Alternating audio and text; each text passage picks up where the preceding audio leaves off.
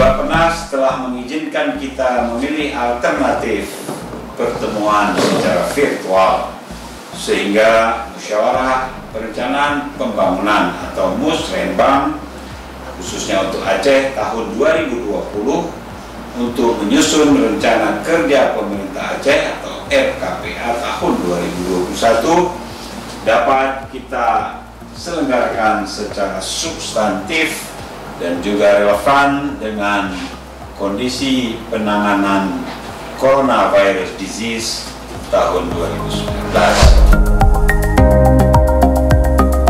Pelaksana tugas Gubernur Aceh Nova Iriansyah didampingi Sekretaris Daerah Aceh Takwallah memimpin rapat musyawarah perencanaan pembangunan atau Musrembang dalam rangka penyusunan rencana kerja pemerintah Aceh tahun 2021 dengan seluruh kepala satuan kerja perangkat Aceh serta bupati dan wali kota se-Aceh melalui konferensi video atau video conference di ruang rapat Sekda Aceh Rabu 29 April 2020. Musrembang RKPA 2021 yang berlangsung via Vicon ini juga menghadirkan narasumber nasional yaitu Taufik Hanafi selaku Deputi Bidang Pemantauan, Evaluasi dan Pengendalian Pembangunan Badan Perencanaan Pembangunan Nasional dan tim dari Direktorat Jenderal Bina Keuangan Daerah Kementerian Dalam Negeri. Vicon Musrembang juga diikuti oleh Forbes DPR RI Aceh.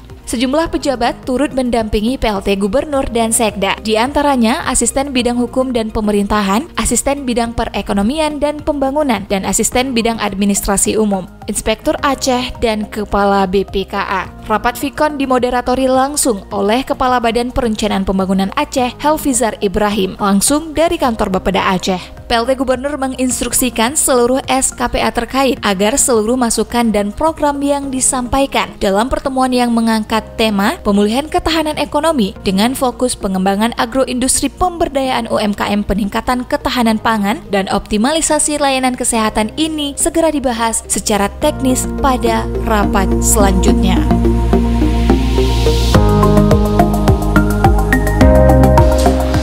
Sekalian yang saya muliakan, tahun 2020 merupakan tahun tantangan bagi seluruh penduduk dunia dengan merebaknya wabah virus corona dan telah menyebabkan disrupsi dalam segala aspek kehidupan manusia. Kementerian Keuangan Republik Indonesia prediksi kemungkinan pertumbuhan ekonomi Indonesia bisa-bisa menjadi negatif hingga minus 0,4 persen.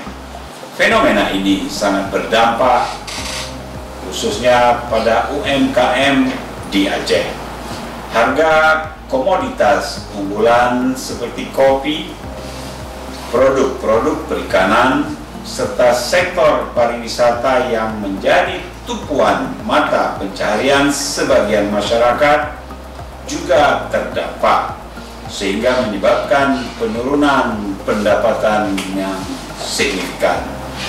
Di tengah keprihatinan ini, kita juga harus yakin akan janji Allah Subhanahu wa taala bahwa setelah kesulitan pasti ada kemudahan.